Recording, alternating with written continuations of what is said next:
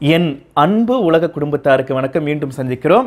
இன்றைக்கு destiny of souls என்ற பதிவிலிருந்து நம்ம கேஸ் நாற்பத்தி மூணு நாற்பத்தி நாலு நாற்பத்தஞ்சு பார்க்க போகிறோம் எந்த ஒரு விளக்கம் கொடுக்காம நேராகவே நம்ம கேஸ்க்கு போவோம். வாங்க கேஸ் நாற்பத்தி மூன்று இவங்க ஒரு ஹாயில் அட்வான்ஸ் ஒரு சோல் தான். அவங்க இந்த ஆத்ம லோகத்தில் உள்ள மூத்தோர்கள் சங்கத்தில் அவங்க நிற்கிறாங்க நிற்கும் பொழுது இவங்களுக்கும் ஒரு சின்னம் தெரியுது.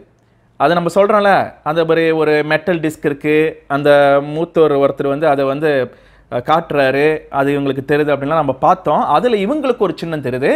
என்ன சின்னன்னா வட்டமாக இருக்குது அந்த டிஸ்க் வட்டமாக இருக்குது சுற்றி பிணையப்பட்ட பின்னி அப்படியே இருக்கிற கோடுகள் இருக்குது அந்த நீங்கள் இந்த படம் போடுற நீங்கள் பாருங்கள் அந்த கோடுகள் இருக்குது நடுவில் ஒரு சின்னம் இருக்குது ஒரு என்னமோ ஒரு கல் மாதிரி இருக்குது அப்போ இதை தான் வந்து அவங்க சொல்கிறாங்கன்னா விளக்கி சொல்கிறாங்க இது என்னன்னு சொன்னால் அந்த சுற்றி இருக்கிற அந்த கோடுகள் அது என்னன்னு சொன்னால் வாழ்க்கையை பல பிறவிகளோட வாழ்க்கையை ஒரே நோக்கத்திற்காக இருக்கின்ற அந்த வாழ்க்கைகளை குறிக்குது. எல்லாமே கடைசியாக ஒரு நோக்கத்துக்கு இருக்கிறதுனால ஒன்றோடு ஒன்று தொடர்பு கொண்டு பின்னி பிணையப்பட்டிருக்கு. அது பல வாழ்க்கையை குறிக்குது அப்படின்னு சொல்கிறாங்க நடுவில் ஒரு கல் இருக்குல்ல அந்த கல் என்னன்னு சொன்னால் மரகத கல் பச்சைக்கல் இந்த மரகத பச்சைக்கல் ஏன் வந்து அவங்களுக்கு தெரியுதுன்னு சொன்னால் இவங்க ஒரு ஹீலர் அதாவது மற்றவங்களுக்கு சிகிச்சை செய்யக்கூடிய ஆற்றல் இவங்களுக்கு இருக்குது அப்படிங்கிறது இவங்களுக்கு காட்டப்படுது. இவங்க பல பிறவியில் நோயான உடம்பை தான் அவங்க எடுத்திருக்காங்க. ஆரோக்கியமான உடம்பே எடுத்ததில்லை. ஐயாயிரம் வருஷம் இந்த பூமியில் அவங்க வாழ்ந்திருக்காங்க. அப்படின்னு சொன்னால் எவரேஜ் ஒரு நூறு வருஷம் அப்படி வச்சா கூட வராது இருந்தாலும் வச்சா கூட ஒரு ஐம்பது பிறவி தான் குறுகிய பிறவியில் ஒரு பெரிய நிலைக்கு அவங்க வந்திருக்காங்க அப்படிங்கிறது தான் உண்மை. ஏன்னு சொன்னால் எல்லா பிறவியிலும் துன்பம் துன்பம் துன்பம் துன்பம் துன்பம் அப்படின்னு. அப்போ இந்த பிறவிலும் அவங்களுக்கு ஃபைப் ஃபைப்ரோ மை அல்ஜியா அப்படிங்கிற ஒரு நோய் இருக்குது அதாவது தீராத தசவலி அவங்களுக்கு இருக்குது இந்த வலி வேதனையை அனுபவிச்சுக்கிட்டு இதில் எப்படி ஆற்றலை பெருக்கி அதை வந்து குணப்படுத்த முடியும் அப்படின்னு ஒவ்வொரு பிரிவிலும் இவங்க கற்றுக்கிறதா வந்து இந்த சப்ஜெக்ட் சொல்கிறாங்க அப்போ சில நேரங்களில் நம்ம நினைக்கிற மாதிரி கரும வினைகள்னால மட்டும் இங்கே வந்து சில பேர் வந்து இந்த தீராத நோய்கள் இருக்காங்களா அப்படிங்கிறது வந்து நமக்கு ஒரு கேள்விக்குரியதாக இருக்குது பொதுவாகவே அதுதான் நம்ம பேசுகிறோம் ஆனால் இந்த இந்த சப்ஜெக்ட் படி அவங்க வந்து இந்த உடம்பை வந்து சூஸ் பண்ணியிருக்காங்க. Council the council of members இருக்காங்களே இந்த மூத்தவர்கள் அவங்களோட கலந்து ஆலோசித்து அதாவது வழிகாட்டியோட கலந்து ஆலோசித்து அப்புறம் இந்த மூத்தவர்களுக்கும் தெரிஞ்சு அப்புறம் தான் இந்த உடம்பை அவங்க எடுத்திருக்காங்க சொல்கிறாங்க ஆக பல பிறவியில் படாத துன்பம் பட்டு ஒரு ஸ்ட்ராங்கான அட்வான்ஸான ஒரு சோலாக இருக்காங்க.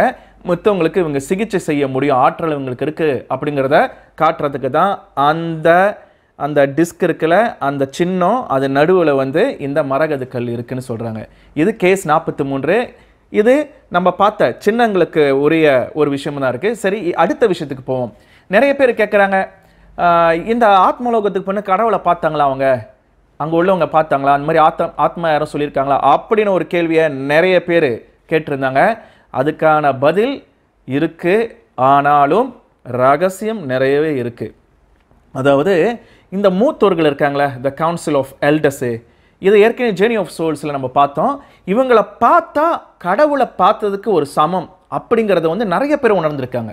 அவ்வளோ சக்தி வாய்ந்தவர்களாக அவங்க இருந்திருக்காங்க. அந்த வைப்ரேஷனை வந்து வெரி டிஃப்ரெண்ட் அப்படின்னு சொல்லப்பட்டிருக்கு. அப்போ அந்த இடத்துல உண்மையிலே கடவுளை பார்த்ததா உணர்ந்திருக்கிற ஆத்மாக்கள் என்ன சொல்கிறாங்கன்னா அங்கே வந்து சாநித்தியம் இருந்துச்சு கடவுளுடைய சாநித்தியம். அதாவது அவங்க காட்னு சொல்ல மாட்டாங்க அதுக்கு நிறைய பேர் சொல்கிறாங்க சாஸ்னு சொல்கிறாங்க சாஸ் அது மூலம் அப்படிங்கிற ஒரு வார்த்தை தான் சொல்கிறாங்க தவிர அது அப்படின்னு தான் சொல்கிறாங்களே தவிர நம்ம இங்கே பயன்படுத்துகிற அந்த வார்த்தை காட் அப்படிங்கிற ஒரு வார்த்தையோங்கிற வந்து அவங்க வந்து ரொம்ப இங்கே நம்ம அதிகமாக அதை பயன்படுத்திட்டோம். ரொம்ப சீப்பாக ஆயிடுச்சு அந்த வார்த்தை அப்படின்னு சொல்கிறாங்க அந்த வார்த்தைக்கு ரொம்ப சக்தியான அந்த வார்த்தை அது வேற. அங்கே இந்த மூத்தோர்கள் இருக்கிற அந்த இடத்துல வந்து அதை நாங்கள் உணர்கிறோம் அந்த இடத்துல அந்த சக்தி வந்து இருக்குது அப்படின்னு சொல்கிறாங்க சரி நீங்கள் வந்து இப்போ வந்து ஒரு வழிகாட்டியாக இருக்கீங்க. மாஸ்டர்ஸ் இவங்க ஒரு மாஸ்டர் டீச்சராக இருக்காங்க. சரி நீங்கள் வந்து இந்த கைட் ஆன பிறகு நீங்கள் அந்த கவுன்சில் ஒரு மெம்பராக ஆக முடியுமா? அப்படின்னு டாக்டர் நியூட்டன் கேட்கும்பொழுது அவங்க சொல்கிறாங்க அதுக்கு இப்போ அந்த தகுதிலாம் எனக்கு இன்னும் வரல. நான் இன்னும் வந்து ட்ரைனிங்கில் தான் இருக்கேன். நான் வேணா யங் டீச்சர்ஸ் இருக்காங்களே இளைய ஆசிரியர்கள் அவங்களுக்கு வந்து நான் சொல்லிக் கொடுக்கலாம். ஏன்னா நானே வந்து இப்போ பிறவி எடுத்துக்கிட்டு போயிட்டு வந்துக்கிட்டு தான் இருக்கேன். இன்னும் ஒரு பெரிய நிலைக்கு நான் வரல. அப்படின்னு அவங்க சொல்கிறாங்க சரி இந்த மூத்தோர்கள் இருக்காங்களே இவங்க எங்கே இது முடிஞ்சோடனே இந்த இந்த சபையிலிருந்து அவங்க வந்து எங்கே போயிடுவாங்க எங்கே இருப்பாங்க இந்த அடுத்த லெவலுக்கு என்ன அது அப்படின்னு கேட்கும்போது அவங்க என்ன சொல்கிறாங்க இவங்க எல்லாம் ஒருமை இடம் த பிளேஸ் ஆஃப் வான்னஸ் அப்படிங்கிற ஒரு விஷயத்த சொல்கிறாங்க அங்கே இவங்க போயிடுவாங்க அது என்ன அந்த இடம்? என்ன அது அது? அப்படின்னு சொன்னால் அதுதான் படைப்போட மையம் அப்படின்னு சொல்கிறாங்க அதுக்கு த ப்ரெசன்ஸ் அப்படின்னு சொல்கிறாங்க த ப்ரெசன்ஸ் சாநித்தியம் அப்படின்னு. அதுதான் கடவுளா? இதுதான் நீங்கள் சொல் இந்த நாங்கள்லாம் சொல்கிற பேசுகிற மாதிரி இதுதான் வந்து கடவுளா?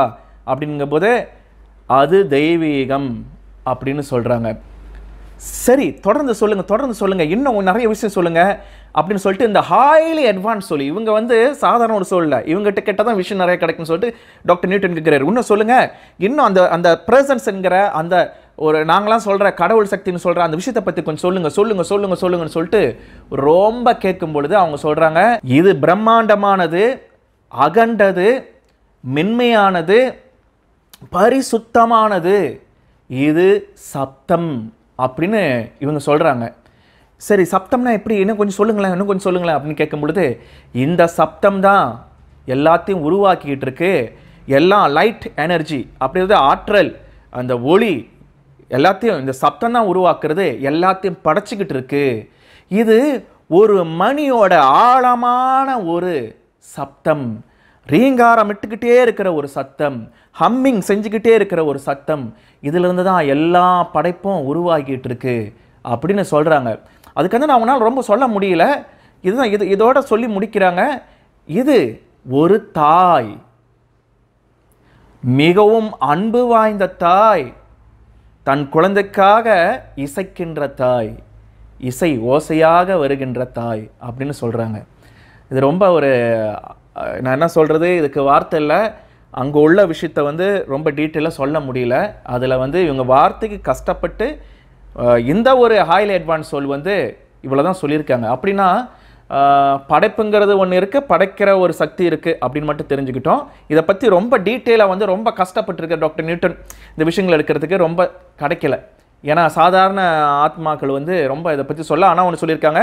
ஒரு சக்தி இருக்குது ஒரு சக்தி இருக்குது உயர்ந்த ஒன்று இருக்குது உயர்ந்த ஒன்று இருக்குது உயர்ந்த ஒன்று இருக்குன்னு சொல்லியிருக்காங்க. சரி கேஸ் நாற்பத்தி நான்கு பார்த்துட்டோம். இப்போ கேஸ் நாற்பத்தஞ்சு. த லா ஆஃப் சைலன்ஸ் மௌன சட்டம். இதை நான் மீற மாட்டேன் அப்படின்னு இந்த கேஸ் ஃபார்ட்டி ஃபைவ் சொல்கிறாங்க எதுக்கு அவங்க அப்படி சொன்னாங்கன்னா டாக்டர் நியூட்டன் கேட்குறாரு சரி நீங்கள் கவுன்சில் ஆஃப் மெம்பர்ஸ் அதாவது மூத்தவர்களை பார்த்துட்டீங்க. நீங்களும் அவங்களும் பேசுனீங்களே அதில் முக்கியமான விஷயத்த கொஞ்சம் சொல்லுங்கள் சொல்லுங்கள் அப்படின்னு சொல்லி கெஞ்சி கெஞ்சி கேட்குறாரு ஆனால் அந்த கேஸ் ஃபார்ட்டி ஃபைவ் அவங்க என்ன சொன்னாங்க? நான் மௌன சட்டத்தை மீற மாட்டேன். இந்த விஷயத்தை வந்து நான் யார்கிட்ட சொல்ல மாட்டேன். இது ரகசியம் சொல்லக்கூடாது. நான் வந்து என்னுடைய குழு அதுவும் அங்கே குரூப்புக்கு போகிறாங்க குரூப் மெம்பர்ஸு மற்ற ஆத்மாலாம் இருக்காங்களே அவங்க கிட்ட கூட சொல்ல மாட்டேன்.